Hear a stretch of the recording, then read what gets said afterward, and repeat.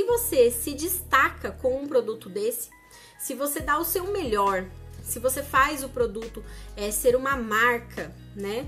E não um produto qualquer, você consegue alcançar um espaço diferenciado. Eu consegui fazer isso através dos bolos caseirinhos. A moda geral, quando eu comecei a vender os bolos caseirinhos, era vender bolo caseiro de furo no meio. O modelo de bolo que eu ofereço não tinha muito mercado. Eu fiz o meu próprio mercado e a minha própria clientela.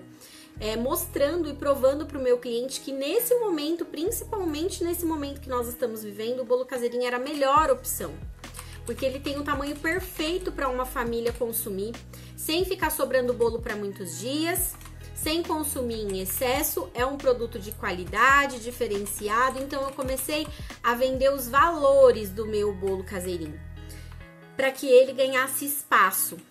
Tem muitas outras pessoas vendendo bolos aqui na minha região, mas os meus clientes sempre compraram só de mim.